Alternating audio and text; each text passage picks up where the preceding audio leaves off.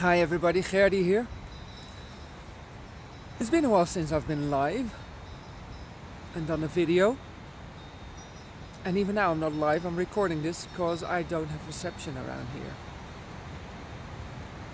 But I felt I want to talk to you again about values, about core values and the importance of, of them for our vision, for realizing your vision. And if you don't know what your vision is, for discovering your vision and also for reigniting your vision. Because that's what I do. I help people reignite their vision. I do that by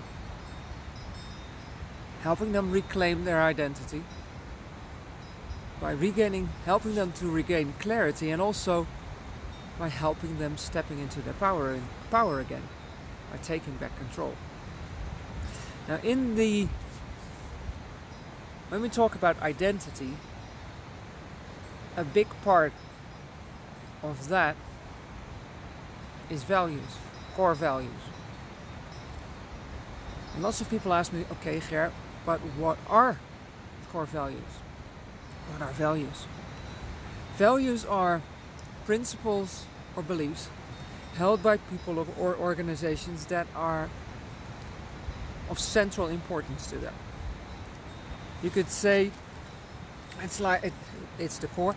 It's the core, the backbone, the core of a organization or a person when it comes to how they respond, react to situations, to people, in conversations, when they express opinions, when you're a business uh, or when you have a business, when you the kind of business that you are, how you present yourself to the outside world, how you work with your employees, how you behave with your employees, how you behave in the direction of your clients, and when it's your personal values, it's all about how you act and react, respond in situation with your family, your friends, society, all those kinds of things. In particular, when it gets a little bit harder, when you deviate from what popular opinion is or what popular actions are. They are, uh, values are like the fence posts of a fence. When they're firmly planted into the in the ground, they hold up the fence solidly. When they're a bit wobbly, it's really easy for people to cross, to, to step over that fence or even push it over and have you do basically what it is that they want you to do or say the things that you, they want you to say. When that happens, when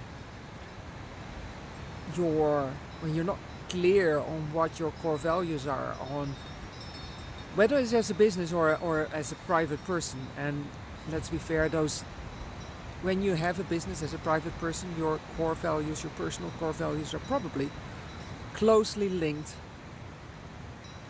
and maybe even the same as they are for your business or your organization where was I? Um, when you're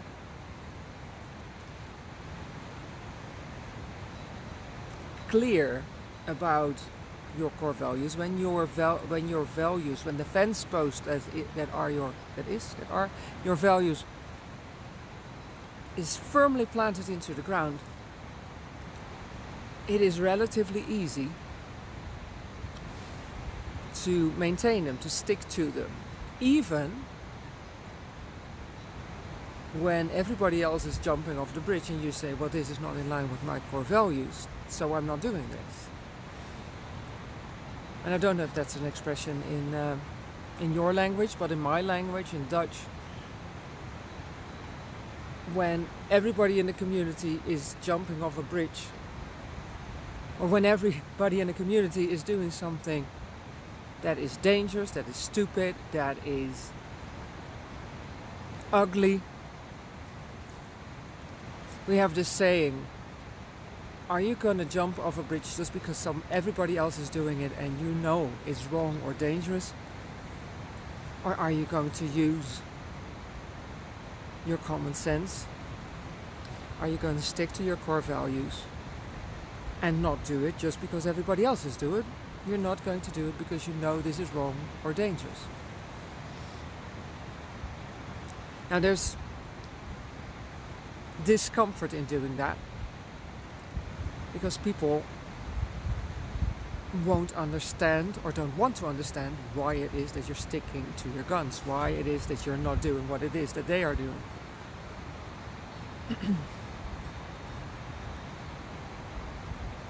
and as I said, that can be uncomfortable. And that what I'm saying applies as much to organizations as it does to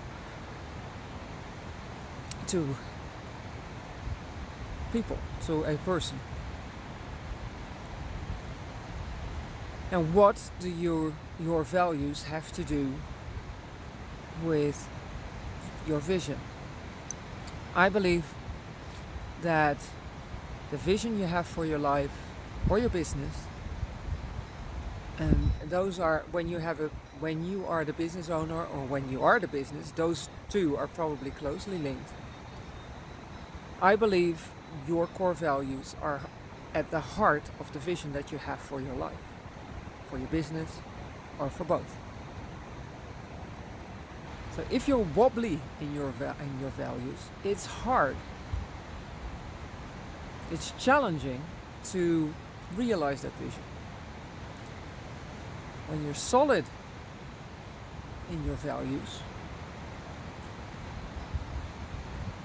it becomes a little bit easier. I'm not saying it is then all of a sudden really easy. It's probably not. But it's easier to stay on track. It's easier to follow the path. And it's it's easier to stay on track. You keep going in the direction of your vision. You may deviate a little bit, but you always come back on a track that leads to your vision. You don't get pulled into other people's visions by because you're si simply because you're not following somebody else's values. You're not living or acting by somebody else's values. Now, how can you figure out what your values are if you can't, if you don't know it, if you can't remember them?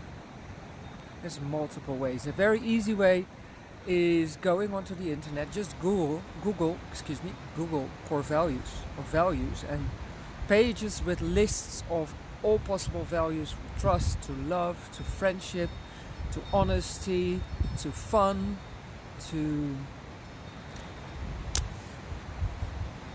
just justice. There's all kinds of lists out there long lists with all kinds of values on there all values on there and one of the things you can do is go through those lists and just cross off what does not apply to you until you have a list of about 10 and then try and whittle them down to about 3. Those will probably be those will be your core values. Start there. And start planting them firmly in the ground. And that's the first step to reclaiming your identity and towards realizing, getting back on track to your vision, to reigniting your vision. As always, go dare greatly. Bye bye.